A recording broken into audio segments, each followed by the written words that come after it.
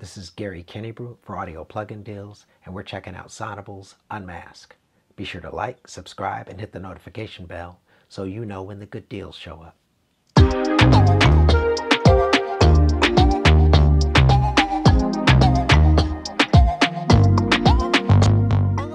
Unmask creates frequency separation by using a host file and sidechaining a source into that host file to create a ducking effect.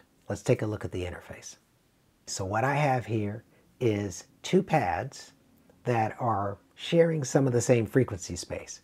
And what I want to do is send one pad into the other pad, which is going to let me select a frequency range and a speed, as well as a um, unmasking amount so that we can actually control the ducking effect. We have it set up as a sidechain, and that's indicated at the top here. There's a number of algorithms that Unmask comes with. Universal kind of covers everything like a catch-all, and you've got speech, vocals, guitar, bass, kick, drums. And each algorithm has a certain frequency range and a speed at which it can automatically duck. But you can manage those settings on your own. Using the universal algorithm, you can see that the top frequency is the source coming in, and you can see that the bottom frequency is the host.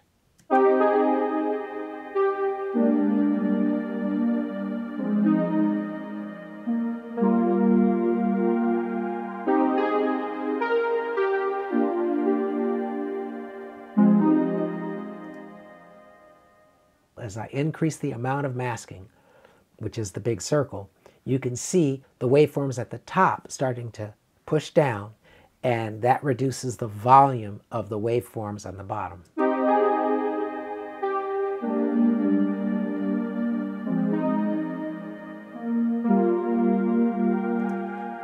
There's a speed control. The speed control lets you determine how fast it's actually going to duck down. You have a resolution setting, which is low, medium, and high, which is the width of the frequencies that are going to be squeezing or unmasking. You also have a range, which is the lowest and the highest frequencies that will be included in the masking effect. You can also bypass the plugin by the switch at the bottom.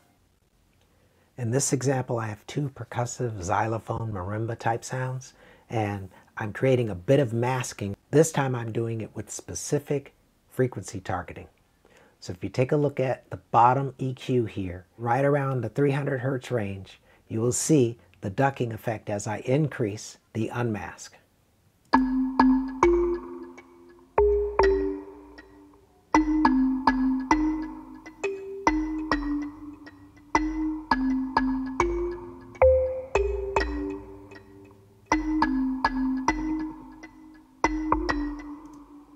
Now keep in mind, unmasking is really a subtle effect, but what it does is it makes room for your frequencies so that all the instruments and all the tracks that you have can actually be heard.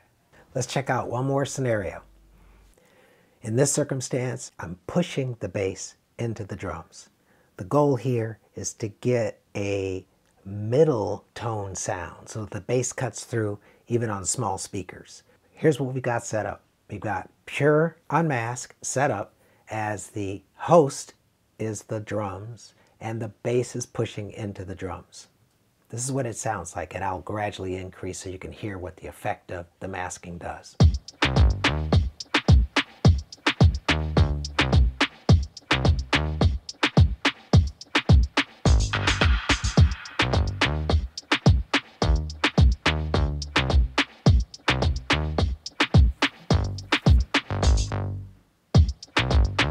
So that lets me get that mid-tone. Instead of the bass being so rich, I can get a mid-tone in the bass and allow it to cut through in the mix. Sonible's Pure Unmask is a good go-to plugin. Unmask comes with all the right algorithms, including a universal algorithm, as well as everything that you need to do quick unmasking just simply by using sidechaining. I suggest you check it out at Audio Plugin Deals. Remember to like, subscribe, and hit the notification bell so you know when the good deals show up. This Scary Kennebrew for Audio Plugin Deals.